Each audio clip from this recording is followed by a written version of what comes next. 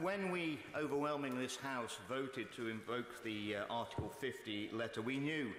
that the default position was that we would leave the European Union on the 29th of March with no deal. my, my right honourable friend, the member for Surrey Heath, who opened this debate, uh, did so uh, giving his opening speech in his normal enthusiastic and energetic manner, but his words will have struck horror into the hearts of the 17.4 million people who voted to leave and indeed to our activists and members uh, across the country. Um, in our manifesto it said that no deal is better than a bad deal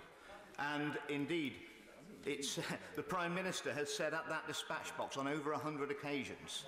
that we are leaving the European Union on the 29th of March with or without uh, dear. Where does that leave our democracy, Mr Speaker, or belief in, in politics? Um,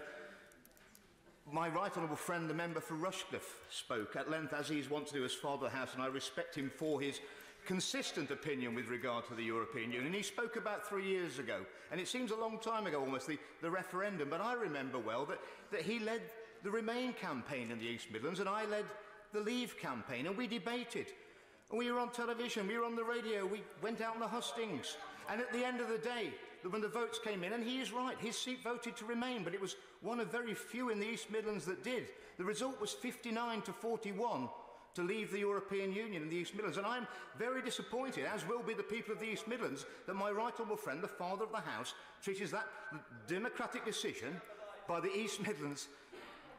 so badly that he would in invite us to revoke Article 50 and go against the will of the British people, something which this House decided we would give the decision to the people in a referendum.